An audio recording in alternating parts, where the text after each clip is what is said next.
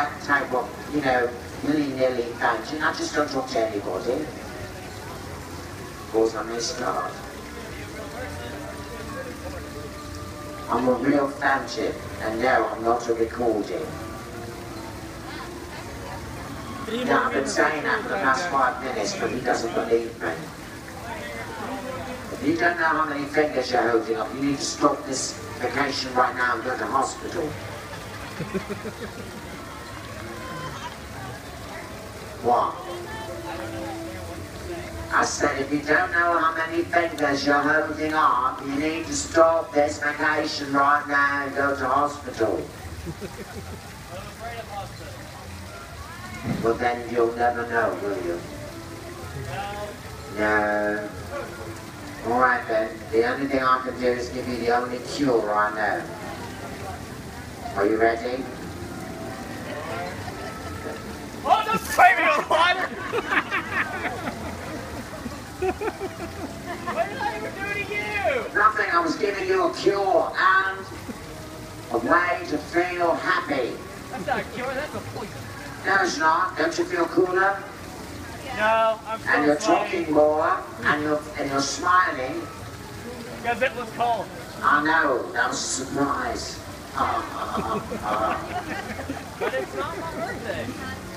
It doesn't need to be your birthday. You should have a surprise every day. Surprise! Surprise! Dance, little man, dance. Dance, little man. Shoot it out the top right at you. No, I'm not. You I was up there. thinking about it, but I don't want to frighten him too much. Looks like I'm causing a scene here. Why? Looks like I'm causing a scene here. No, you're not. They're just watching you, watching me, watching you. Watching me, watching you. Watching you, watching me, watching you. Okay. Okay. I know, you got the problem with adults. Uh, so, where are you from? Denton Island. Oh, that's fantastic. Where's that? It's the Heartland, she says. Obviously, she's been there before. It's southwest. It's southwest. It's north. It's northwest. Obviously, you're very lucky to have her. Yeah, so that's up and left. I go up and left. I shall hit where? Ohio? Yep. What? Yeah, okay. Fantastic.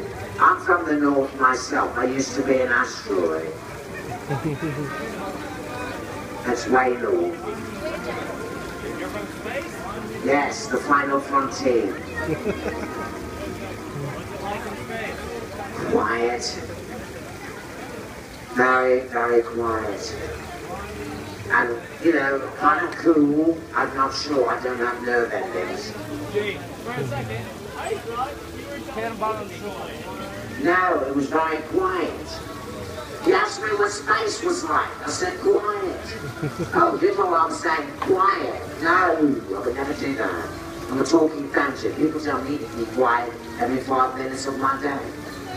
I would never do that to someone else. Talking is fundamental. Well, see you later. He's a strange child.